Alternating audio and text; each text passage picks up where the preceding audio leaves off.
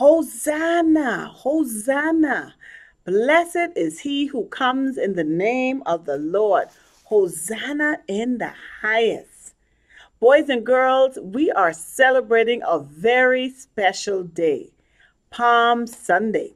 And we can find the story of Palm Sunday in our Bibles. And you can find the Palm Sunday story John chapter 12, verses 12 through 19.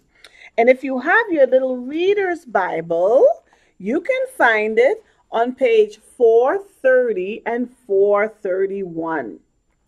When I was a little girl in my little island that I grew up in Nassau, Bahamas, I found that Palm Sunday was a special day for all the churches. People would wear all white and they would have big parades in the streets and you would find palms everywhere, palm branches everywhere. And this was in honor of when Jesus rode on a donkey into Jerusalem.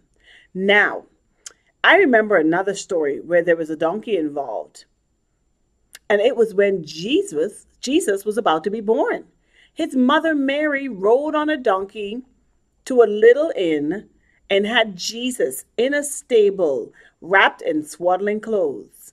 And here he is now in our Palm Sunday story on a donkey as a man, not riding to be born, but he's actually riding to be put on the cross. His official entry into Jerusalem. And everyone was there. They were waving palm branches like the ones you see behind me. And they said, Hosanna, Blessed is he who comes in the name of the Lord. Jesus came for our salvation, and he came riding on a donkey. He wanted us to know that he had humbled himself so that he can die for our sins. So, boys and girls, John chapter 12, verses 12 through 19, teaches us this wonderful story. We can find it in our Bibles, and we should remember that Jesus came to die for our sins.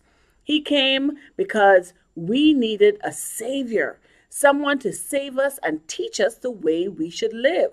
Now, all of these stories we know we find in the Bible, and the Bible is a treasure book of stories old and new. It tells us how to live our life and it shows us what to do.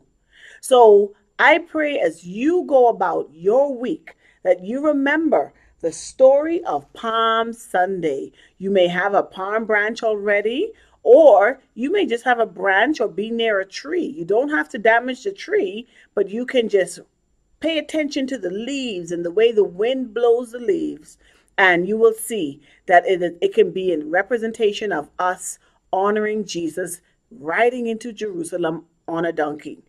So, this is the start of what we call our Holy Week. We are going into Holy Week.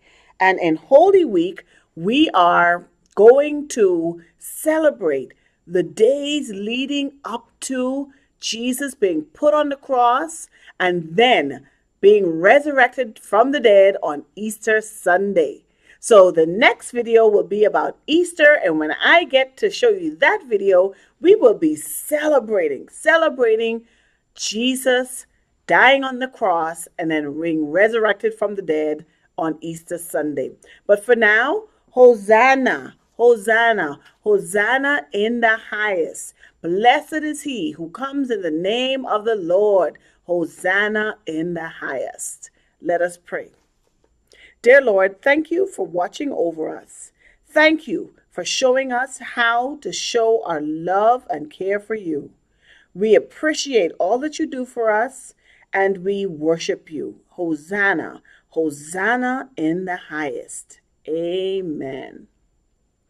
Well, see you next time. Bye bye.